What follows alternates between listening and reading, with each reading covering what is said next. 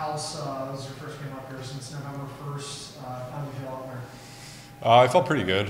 Um, I was glad to get one in last week after coming back from an injury um, in Jacksonville, and I felt good last week too. So, um, you know, as soon as I got back here, I thought, you know, good week of practice, and um, you know, I thought it carried over tonight.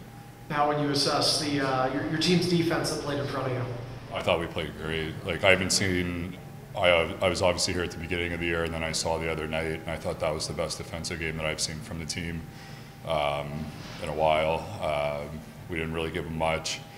Um, I thought we did. We blocked tons of shots, and really we limited their chances in total for the most part. So, um, you know, it made my job pretty easy tonight. Uh, Abs, just before you came in, and praised the fact that you're ready for any and all situations, whether it's here, the ECHL, NHL. Um, how confident are you every night, regardless of what jersey you're wearing, that you can give your team a chance to win?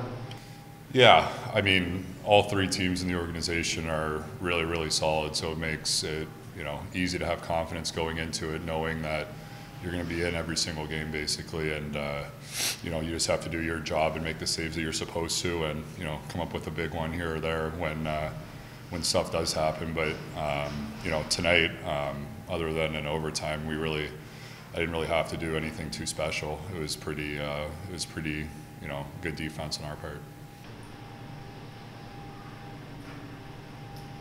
Uh, looking at that defense in front of you, how did they do just getting those passing lanes and, and really limiting the looks that you saw overall?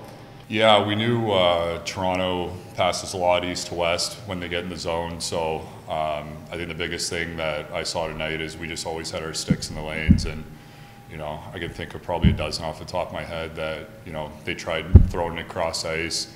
I saw guys ready for one timers as I'm sliding over, and we get a stick on it, and you know it's either out of play or uh, we transition the other way a couple times off of it. So it was uh, it was really good. Our st- our stick de- details were really good tonight.